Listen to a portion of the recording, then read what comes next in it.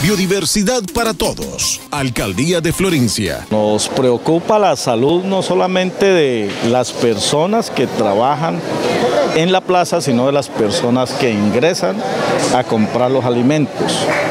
Así que hoy lo que estamos haciendo es hablando con la gente, escuchando con la gente para implementar las medidas de bioseguridad entre la Secretaría de Salud, la Secretaría de Emprendimiento y los comerciantes.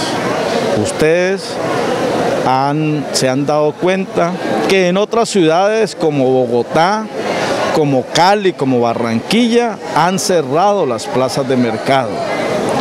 Nosotros no las vamos a cerrar siempre y cuando se apliquen los protocolos de bioseguridad, que hayan personas encargadas de controlar el ingreso para que la gente entre a la plaza de acuerdo con el pico y cédula, que hayan personas encargadas de tomarle la temperatura, que hayan personas encargadas de velar la desinfección para el ingreso.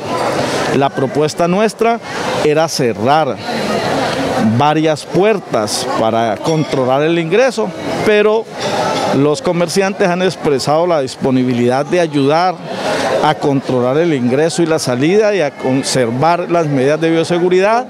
La administración tiene previsto hacer unas inversiones en los próximos meses de hacer el alcantarillado de la plaza, hacerle la pintura general y recuperar el techo para evitar las goteras.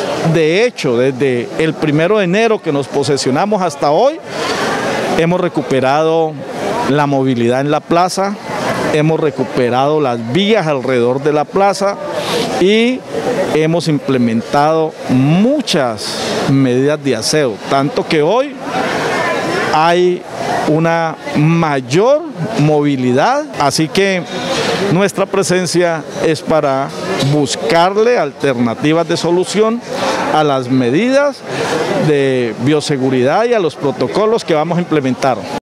Florencia.